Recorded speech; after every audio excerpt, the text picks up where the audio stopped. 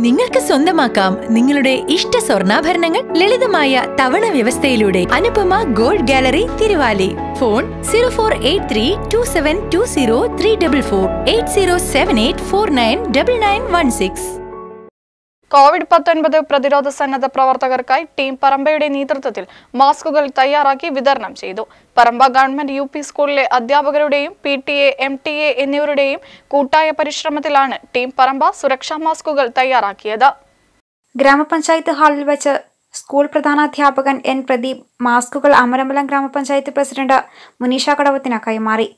നാട് മുഴുവനും നമ്മുടെ കോവിഡ് പ്രതിരോധ പ്രവർത്തനങ്ങളുമായി ബന്ധപ്പെട്ട് ഒറ്റക്കെട്ടായിട്ട് ഈ ഒരു മഹാമാരിയെ നാട്ടിൽ നിന്നും തുടച്ചു നീക്കാനുള്ള ഒരു കഠിന പ്രയത്നം നാട്ടിൽ നടക്കുകയാണ്.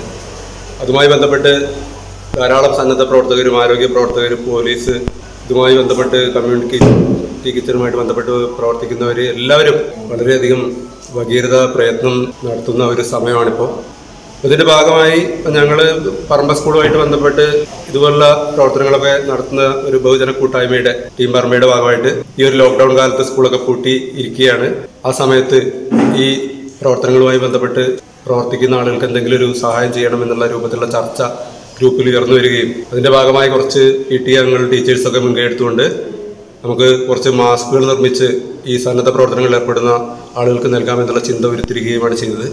ലോക്ഡൌൺ നിയമങ്ങൾ കർശനമായി പാലിച്ചു നടന്ന കൈമാറ്റ ചടങ്ങിൽ അമരമ്പലം ഗ്രാമപഞ്ചായത്ത് ആരോഗ്യ വിദ്യാഭ്യാസ സ്ഥിരം സമിതി അധ്യക്ഷ Gangadevi Sreeragam വാർഡംഗം P M Piju panchayat secretary Abdul Rasheed Illikkal senior assistant M Sreejith Kumar P T A president Muhammad Rafi അധ്യാപകരായ ബി സജികുമാർ കെ സാജൻ എന്നിവർ പങ്കെടുത്തു.